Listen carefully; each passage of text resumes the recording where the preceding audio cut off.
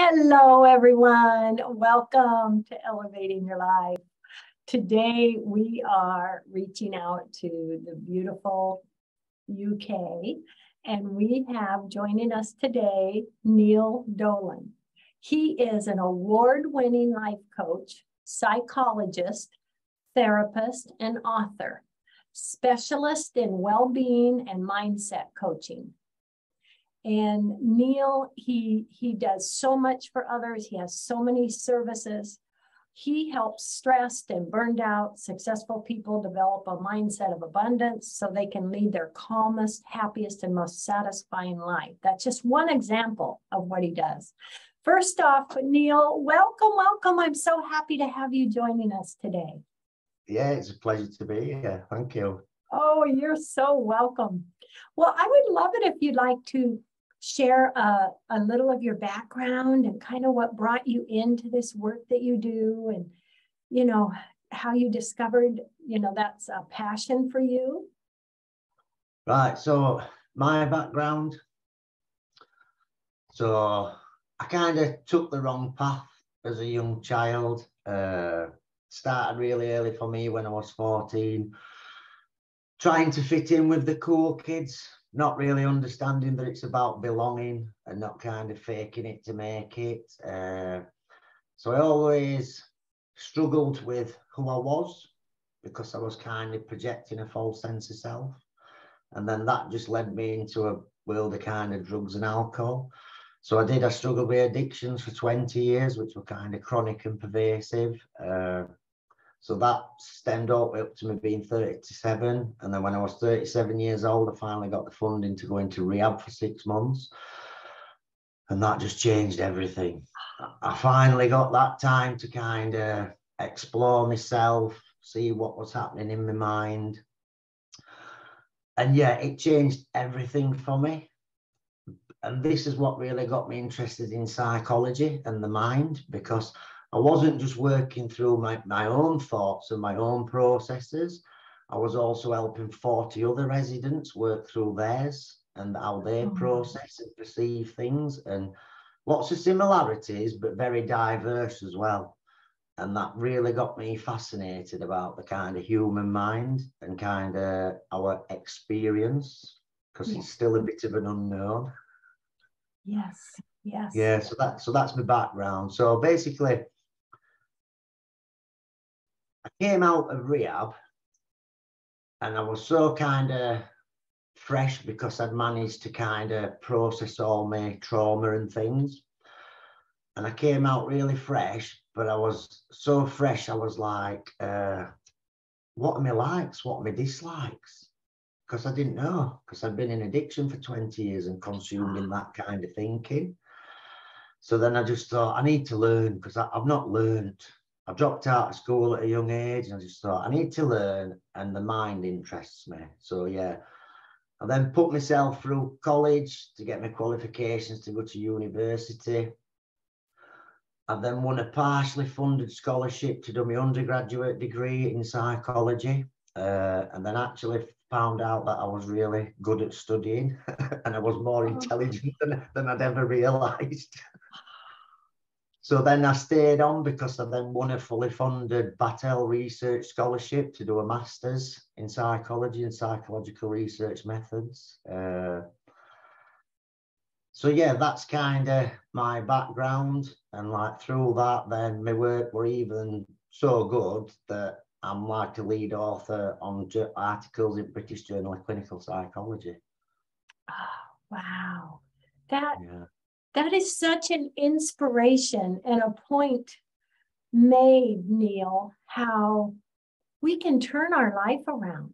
We, you know, no matter how yeah, old yeah. we are, where we at, we can take another path. And gosh, it is, it is just so true how at any age, especially when we're young, we can get caught up in, the, well, I need to be what the others want me to be you know it's it's so easy to to drift that way in life it, it is and it's kind of i had a profound experience in rehab so i mentioned that kind of when i had that spiritual awakening Shall I share that? Yes, please.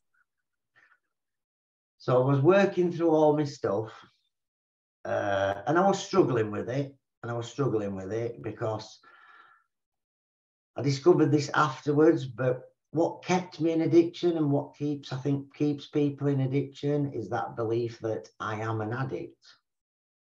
And if we believe I am an addict, we believe in addiction ways and we behave by consuming drugs and things.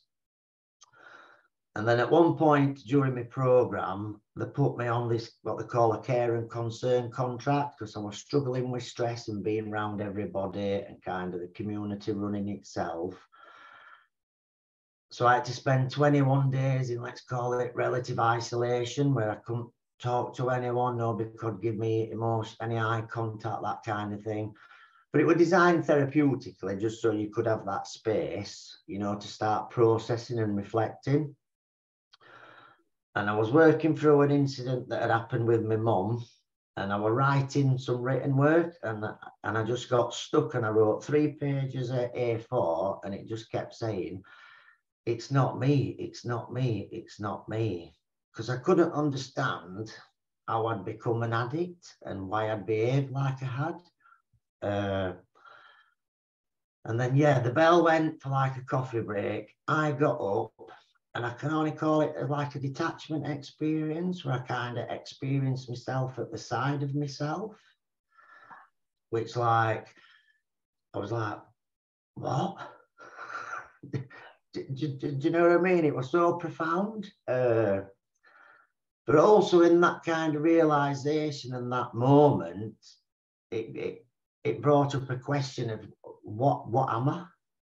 But then an even bigger question, because I had this kind of detachment experience as to what am I? Not just who am I? Yes. And then I kind of realized it suddenly clicked in my my head that actually I'm not an addict. That's just a behavior. And that actually little Neil got locked in at 14 years old. Little Neil, because I had a good upbringing with good parents, really good morals and values. And then my addiction behaviors sent my moral compass spinning, and I was just hmm. lost for 20 years. And then it suddenly dawned on me that actually I'm not I'm not an addict. The addiction had me. Oh. And and I, I'm not joking, Paula. I'll never forget it because in that singular moment of that realization, it was a instant healing of the self because all my guilt and shame, it felt like a big heavy chain I'd been wearing for years, weighing me down. And when I had that realization that I'm not an addict and that the addiction controlled me, that chain just snapped off and I felt so light and I felt so free. Uh, and I remember one of my key workers, he had a word with me when I came off my contract and, and he said, How are you doing? And I said, Oh, I'm loads better. And he said, Oh, I knew something had changed. He said, Because he came running across the grass to me last week. He says, And you're like a little kid that had found a pot of gold at end of a rainbow. Oh, I love it. Oh my and, God. And I did. I felt really young again. I felt like young, innocent, and free because all that stuff had been gone.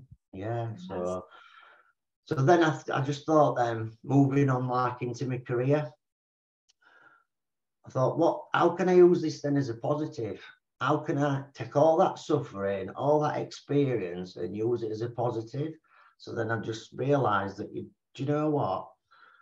I need to help people who are struggling with mental health and stress and the, all the coping mechanisms and things like that that keep them locked in that situation.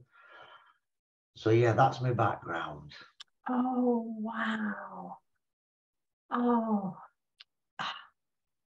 that is just amazing and and really inspiring. I mean, and that just that just shows us and tells us so much, Neil, of mm-hmm. you know, can be stuck in a situation or a mindset and you can let that go. It's possible. It's possible.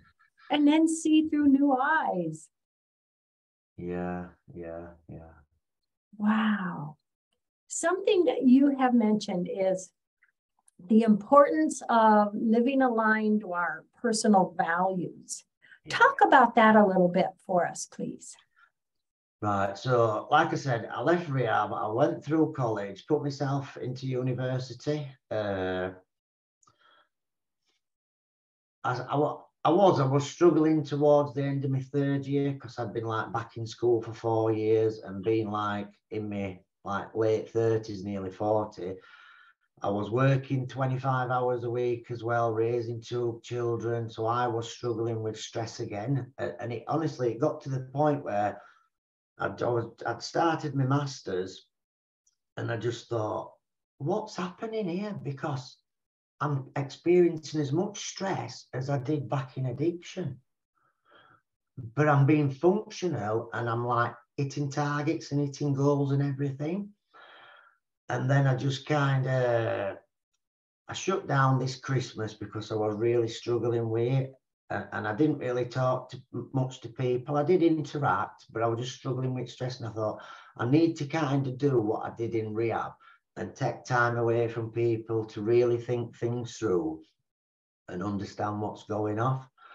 And then when I did that, I was doing some journaling and uh, I started to realize I was chasing socially prescribed goals that weren't my own, oh. and values and things. And I suddenly it started to dawn on me because they wanted me to stay on and do a clinical doctorate in clinical psychology. But then the more I reflected, the more I started to realize that actually I've placed these clinical psychologists on a pedestal above everybody else. Do you see what I'm saying? Mm-hmm. And then I was like, mm-hmm. I'd also got kind of wrapped up into that career, a bit of status, big house, all that kind of stuff. And I just realized, wow, I come I came out of rehab really clean and fresh. And then unbeknownst to me, I've been soaking up all this social conditioning in terms of how to think. And that had been driving me thinking. But yeah, as soon as I had that realization, I just thought, right, they're not my values. I mean, I mean, uh, you know, we do want a good career and things, but it had been, it had become too strong a driver that were just pushing me on through things because I stopped getting enjoyment from studying because I was so stressed. So yeah, I just reevaluated everything and decided, right, I'm not going to stay on and do a clinical doctorate because I just want to get out there and get working with people. I've got enough experience. I've done years at university. All I do is read books. I don't. I've never watched the telly really since rehab because you didn't get to see one. So I know enough. Do you know what I mean? Mm-hmm. And I just thought. And my other big decision for that was, I found out during research and things because I was doing a master's in research standardized manualized therapy in the UK, when you look at the data, it only works for less than 50% of people. And then when you factor other things into how people respond to questionnaires in a socially desirable way, and they say they're better than they are, it drops it down to about, I think it's 43%. And straight away, my thinking was because I'd been under the health service and under a psychiatrist myself in the past and it didn't work for me, I just thought, I can't go into a job where out of every three people I see, I'm only helping one and two are not getting better. Because in my own experience, I was under NHS for years and I never got better. And because they sell it as it's a proven effective treatment, it just reinforced my belief that I was broken and I couldn't be fixed. Mm-hmm. So then I just thought, right, how can I help people in the best way I know? And I just thought, right, I'll train in loads of other stuff like clinical hypnosis, NLP, coaching, whatever I can. And then that way, when I work with clients, I can tailor a very bespoke package for them that suits their individual needs.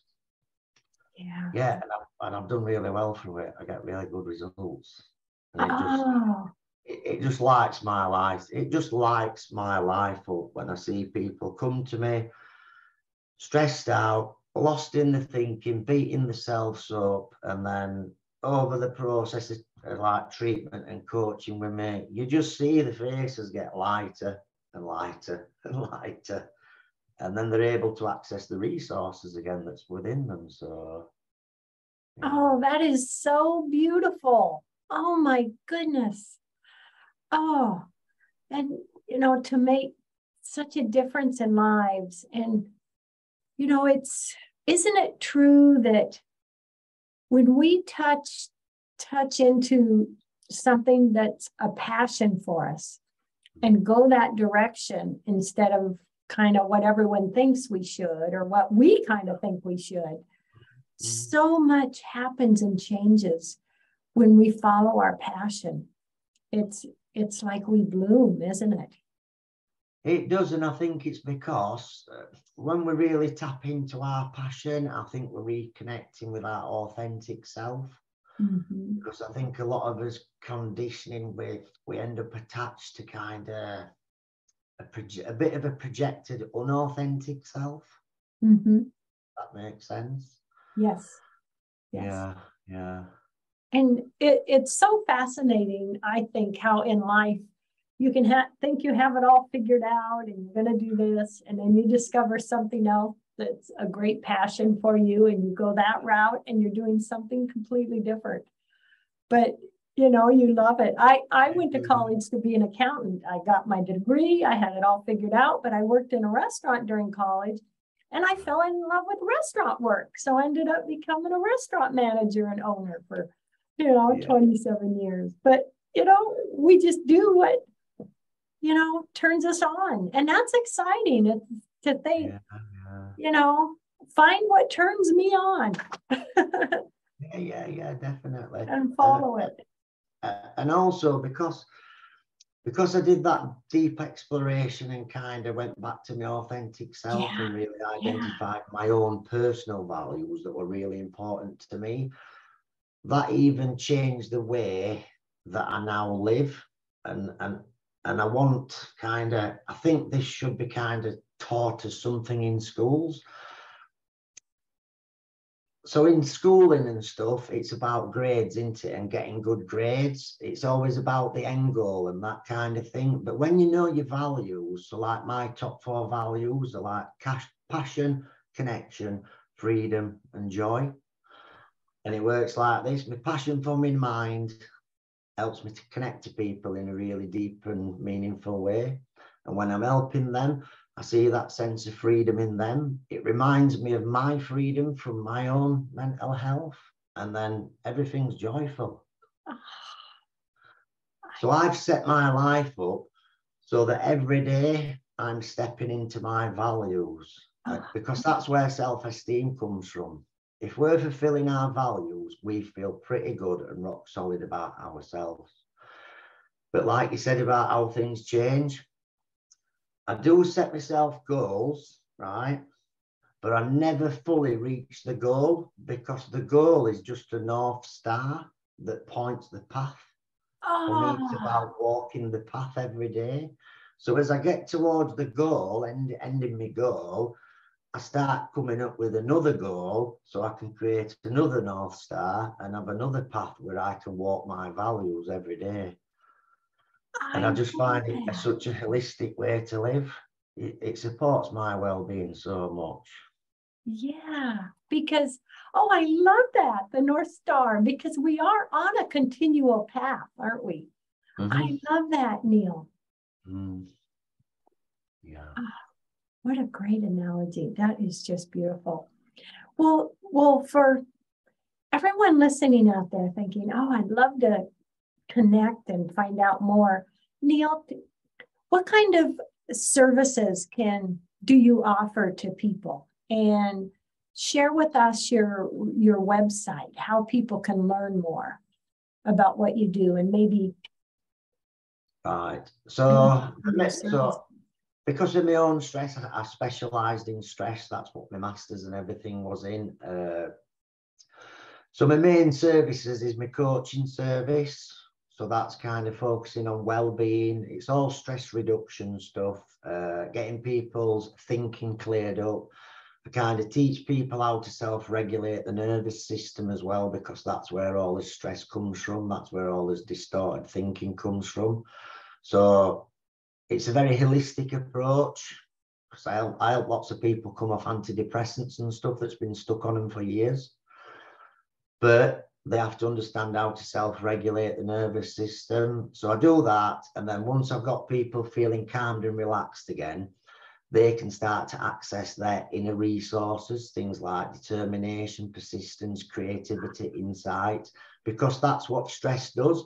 It, it, it gives us tunnel vision and we can't access as wider resources up to the big side where there's love. We get cut off from it. That's what stress does. It cuts us off to us resources.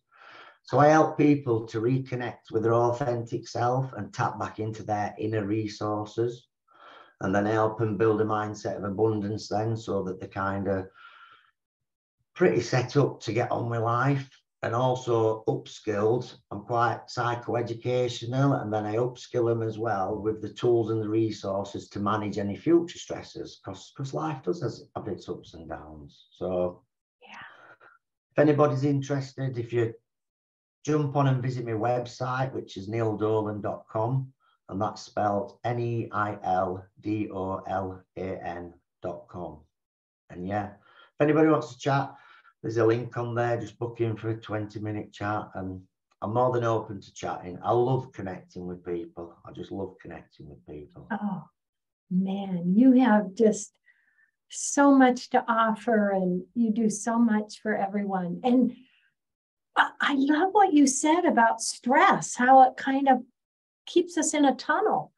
That that is really true, isn't it? Yes, I like. I'm very visual, so it's kind of if you imagine, you know, an archery shooting target. uh, It's got consecutive rings. So when we're stressed, all we can see is that center ring, and that's his fight or flight response. Wow. And that's and that's why with stress, we're reactive and we snap at people, and then we beat ourselves up for snapping at people. But we're not aware that we've lost access to kind of patience, understanding, being compassionate and empathy with people ah. because we're in fight or flight response and we can't access hmm. any other resources. And that's what stress does. Yeah. And gosh, when we open up to that compassion and kindness, oh my gosh, it's not just a gift for others and those around us. It's such a gift we give ourselves, isn't it?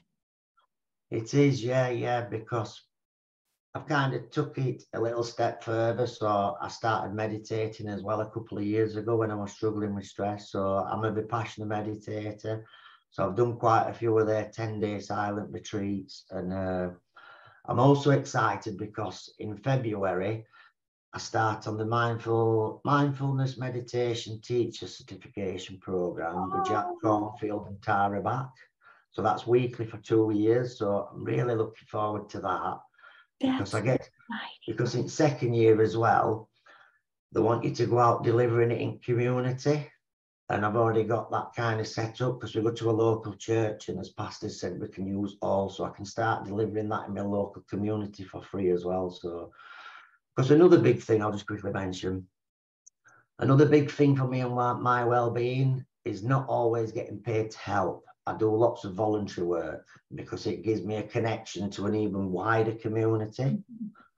Uh, and I, there's a couple of guys, I can't do that many people, I, I do what I can fit in. So there's a couple of guys I've been coaching that graduated from a rehab near me. So I've been coaching them over last year, weekly, face to face. And yeah, they've just really, they're doing really well. They're doing really well. They're doing so well. Oh, Neil, you are so awesome. Oh my gosh, I am just, oh, I'm so touched. I'm just Yeah. so thrilled to meet you and share you with everyone. Oh my gosh. And that sounds so exciting next year. So Mhm. that's going to start in February. February, yeah, yeah, February. So a, a, like a year's online training, uh, but also it's going to be very good for me to take my own practice even deeper. Yes. Yes. And then, like I said, that second year, you're delivering it in your local community. You've got weekly classes, you've got mentors to support you and everything. So, yeah, I can't wait. Oh, that is so exciting. Oh my gosh. And uh, I can only imagine the lives you've touched and the difference you've made for others. And I really want to give you a big heartfelt thank you for that, Neil. Yeah, that's really a special gift for so many and for the world. It really oh, is. Thank you for that. Thank you. Yeah. yeah. And and to help others take those steps and you know change their situation, their mindset, it's huge. You're changing lives. That's yeah, because I just I don't want anybody to suffer. Yeah. Do you know what I mean? I don't want anybody to suffer. And I fully believe that we've all got such we've all got this huge untapped potential, mm-hmm. but it's difficult to access it just because as as the world evolves, we make it more and more complex and more complicated, mm-hmm. more stressful. And it just, I think it just cuts more and more people off because, yeah, yeah, that's that's why I'm big on. I'm big on meditation should be taught in schools from a very young age. Oh, I love that idea because it's yeah. in the relaxed mode. We just, yeah. And yeah. but you know what's so wonderful is is having people like you, people out there in the world. There's so many loving, caring people that want to help each other and just knowing that and knowing when we're going through struggles that that we're really we're not alone that is really beautiful no because we're all we're all connected way more than we yes. realize yes uh, when i did my first vipassana 10 day course I, I, I had some like visual realizations in that uh, and it just kind of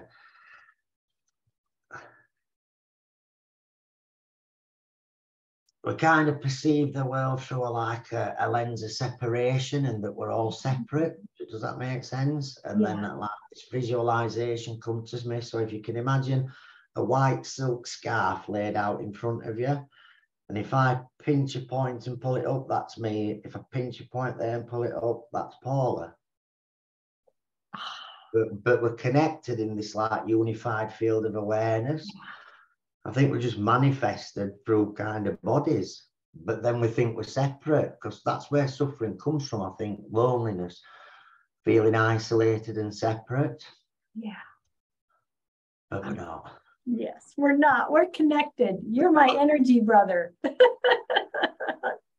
I love it. Well, everyone, thank you for joining us today and check out more about Neil at neildolan.com. Oh, just such a gift. I'm so grateful to everyone. Love hugs and blessings. And Neil, thank you so much. Love hugs and blessings to the UK. This has been so fantastic. I'm just honored to share you with everyone. Right, thank you. My gratitude to you, Paul, for having me. Thank you.